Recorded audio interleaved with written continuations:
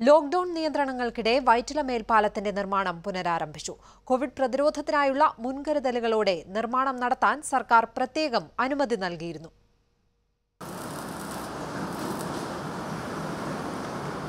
അടുത്ത ജൂണിൽ പാലം നിർമ്മാണം പൂർത്തിയാക്കാനാണ് നേരത്തെ ലക്ഷ്യമിട്ടിരുന്നത്. ഇതിനിടെയാണ് കോവിഡ് ബാധ എത്തിയത്.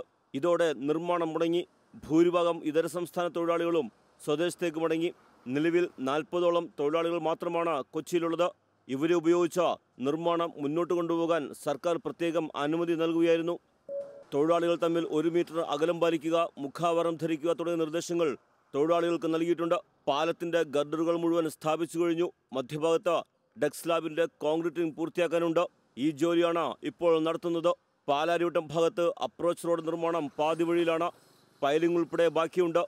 ഈ ജോലിക്കാർ സ്വദേശത്തേക്ക് മടങ്ങിയിരിക്കുകയാണ്. ടാറിംഗ് പക്ഷേ ഇനിയും നീളും. ഗുണനിലവാരം കൂടിയ ടാറിംഗ് നടത്താനാണ് മദ്രാസ് ഐ ഐ ടിയുടെ നിർദ്ദേശം. ഇതിനുള്ള ബിറ്റുമിൻ ഗുജറാത്തിൽ നിന്നും കൊണ്ടുവരണം. ലോക്ക്ഡൗൺ കഴിഞ്ഞാലേ ഇത് നടക്കൂ. ഇപ്പോഴത്തെ അവസ്ഥയിൽ മഴക്കാലത്തിനു മുമ്പ് പാലം നിർമ്മാണം പൂർത്തിയാക്കാൻ സാധ്യതയില്ല. ഏഷ്യാനെറ്റ് ന്യൂസ് കൊച്ചി.